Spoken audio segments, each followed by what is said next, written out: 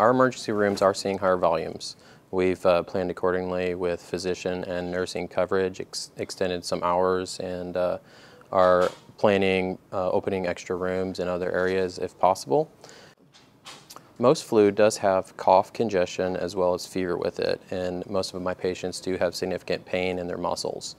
Um, the complications that we do see and would be important to come to the emergency room if you are developing uh, more work of breathing or shortness of breath, as well as uh, you're noting just uh, some confusion or difficulty with your family members.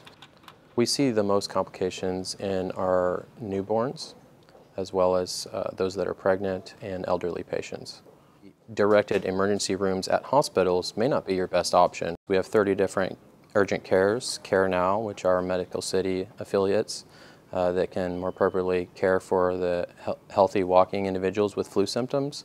We also have some um, standalone emergency rooms, seven different ones across the Metroplex, which are really good options and can see people and have the, uh, the full capabilities of any emergency room. It's highly recommended that we, all of our employees do get influenza vaccinations every year. If they decide not to get that the first recommendation is that they have to wear a mask throughout their entire shift when they're encountering patients. The second thing is obviously hand hygiene or any hygiene in general is to reduce spread of viruses by touching our patients. So it's important and necessary that each of our employees, before and after every patient encounter, they're washing their hands.